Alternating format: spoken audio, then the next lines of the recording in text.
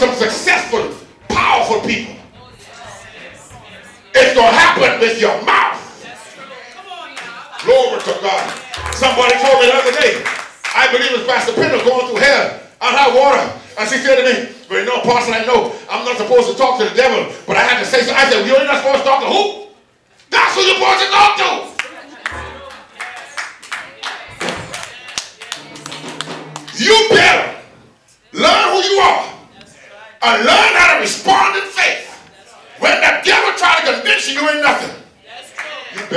God. Let me get out.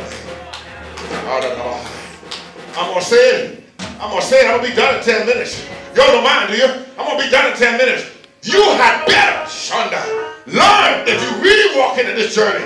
You had better learn how to open your mouth and quench the fiery darts of the devil that he put in your mind to tell you you ain't worth something and you ain't no good and nobody wants you and the world rejected you and you'll never do this you'll never do that. You better shut up.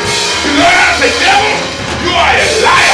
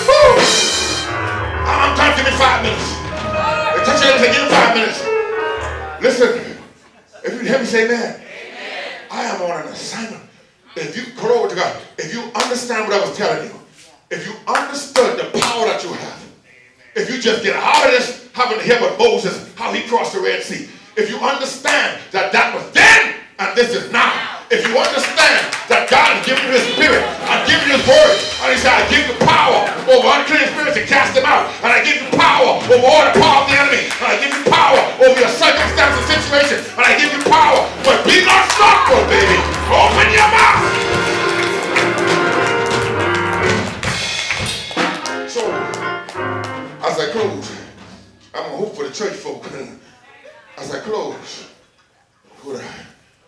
trying to get, I'm, I'm, I'm, I'm, I'm about done, Miss Shipman. If you can receive me this morning, say amen. amen.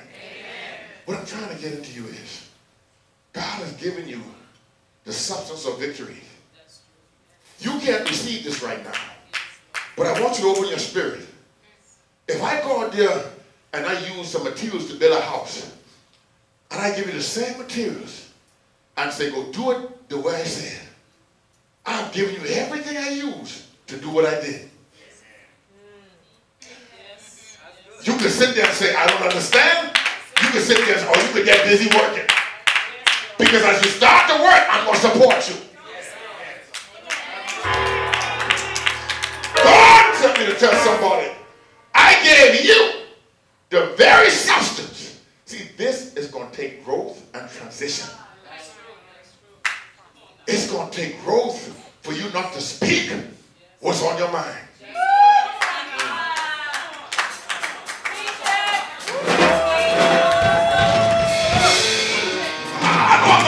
Not a story like some of y'all, but I'm going to try the book of Proverbs, I believe. It's chapter 30 and, and verse 32, I believe, up to I might be wrong on this one, but I'm going to check anyhow. Somebody say amen. amen. Proverbs, I believe it is, chapter 30 and verse 32. See, you got to grow up to walk in the Spirit. That's right.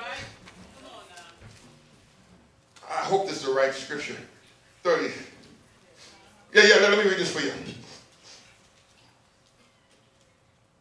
30 and verse 32. Watch this. It says, if thou hast done foolishly, y'all see that? In lifting up thyself, you got you became prideful. Watch this. If thou hast thought evil if you have an evil thought, listen to this. Lay thine hand upon thy mouth. Right. Yes. Come on now. Yes. Shut up. Yes. Yes. Don't speak what the enemy put in your mind. Come on now.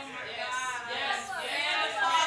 Yes. You can't stop the thought from coming, Yes. True. but you don't have to say it. That's right. Come on now. Because you're speaking it, you're framing environment. Come on now. Am I teaching you over here yet? You, you know what? You know, you know, sister say amen. I just got to give you a piece of my mind. I don't want a piece of your mind. Shut up.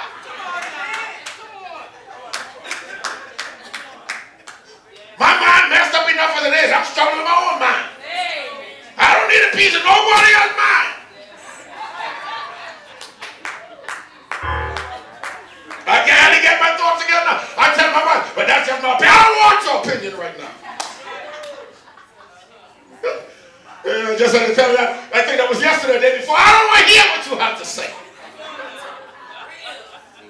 Oh, y'all can't stand no truth in here. I want her opinion, but I said, let me ask you. I'm already catching hell, dealing with all this thing the devil throwing. I don't need your opinion. Don't call me with your opinion. And I be careful not to give you mine. Here's where we get in trouble. We don't understand that we become haughty. And all of us get to the point where, you know what, I'm just going to say what I feel like. I'm just going to say what I think. I'm talking to you, because I'm just going to say what I feel like. I'm just going to say what I think. Child, I'm going to get some straightened up in here. Shut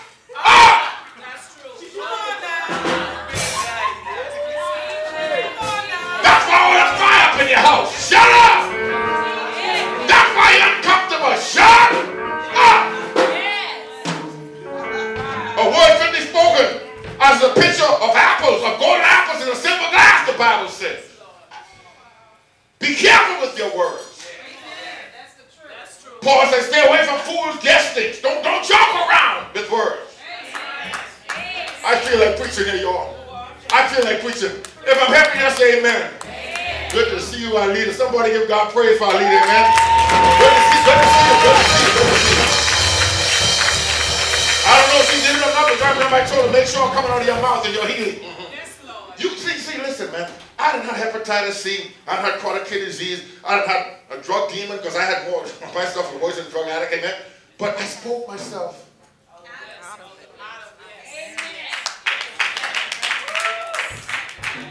Listen, any group of people together, Missouri, the reason why we are failing as people for the most part is that we have no agreement in words. That's true. Come on now. That's true. It's hard in the bedroom Yes. Because you order that the bag of chips. Mm-hmm. Come on now. But everything is mess when they get out the bed That's true. because we're not saying the right things. That's true. No, no, no. I receive from you, listen. I'm going to have somebody else with this. And I don't have you say amen. You got to understand now, your words are going to frame your life. Right. Right. Come on now. That's what I like about David. Can I talk to you? I'm not going to preach it. Can we just talk?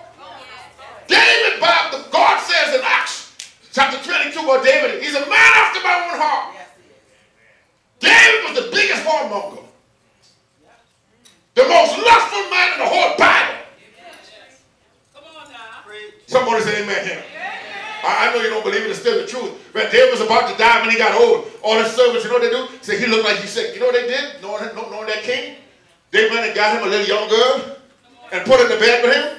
And when he didn't touch her, they said, yeah, he dead. He done, he done. If he didn't do nothing, he done.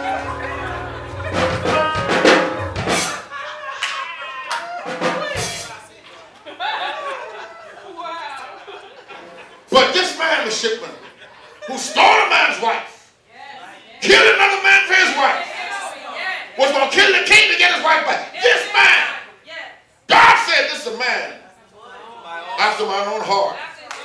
We wouldn't even let him come preach in our churches. John, you got all those sweet house, you ain't coming up here to preach. Because we don't recognize it. Y'all better don't bother me. I'm going to preach it like it's true. You and I wouldn't even let Abraham come to our house. But we talk about Father Abraham, how many kids, how many kids have?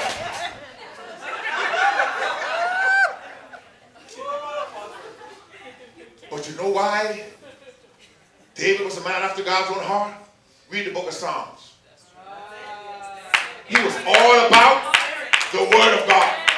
Everything, all of my steps in your word, and let your iniquity have no dominion on me. But the word is a lamp unto my feet and a light unto my path. And How can the young man cleanse his way? By taking hold unto your word. All David was interested in is the word of God. God says, I know he's a whoremonger. I know he's lustful. But he's after my heart because he believed my word. He's standing on my word. He's making my word a part of his life. He's living his life based in the spirit. All that lustful stuff, I don't need it.